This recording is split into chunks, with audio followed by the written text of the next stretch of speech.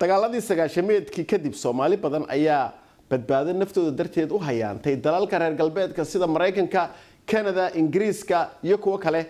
Iminkana mar kale ayay geedi kala soo galeen. Waxa ay doonayeen in ubadkooda ay dhaleen dalalka reer galbeedka ka soo kaxeeyaan oo ay dhaqankiiyo diinta islaamka ku ababiyaan maxamed xaraare ayaa eegaya hayaanka isweydaaranaya ee soomaalida.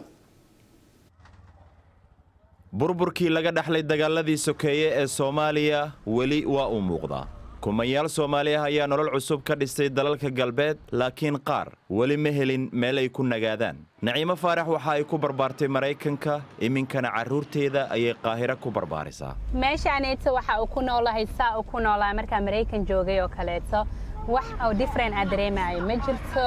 Qurbajoog badan oo kale ayaa masar u aragta dal ku habboon inay carruurtooda ku koriyaan. Xadaanadan carruurta ayaa ka mid ah adeegyada ay u baahan yihiin waxaan u imaaday masar ilmahayga ayaa waxaan keenay masar inay bartaan qur'aanka iyo luuqadda carabiga.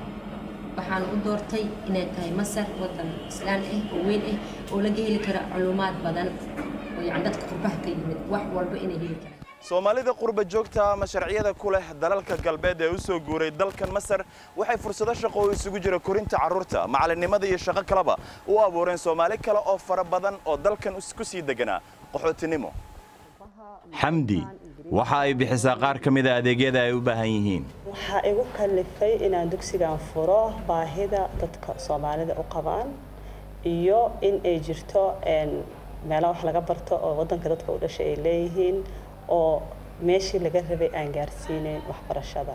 Kuma sinna adeegyada ay qurbajoogta u baahan yihiin keliya waxbarashada carruurta iyo ababintooda maadaama ay dalkan soo degeen waxa ay caawimaad uga baahan yihiin guud ahaan la qabsiga nolol cusub.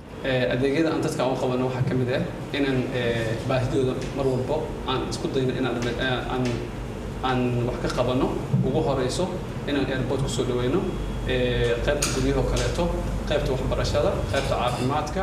Ganacsiyada caynkan ah ayaa si weyn ugu xidhan qurbajoogta soomaaliyeed ee dalkan soo degtay dugsigan xaafadan taasic ka furan haddii aan la heli lahayn arday soomaali oo qurbajoog ah. Ismana bixin karo mana furnaan karo sababto ah way adag tahay ardada soomaaliyeed oo xaafadda degan oo soomaaliya khaasatan ka timid.